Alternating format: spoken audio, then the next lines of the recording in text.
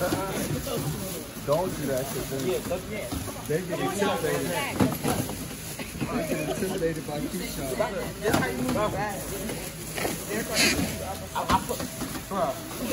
shots. you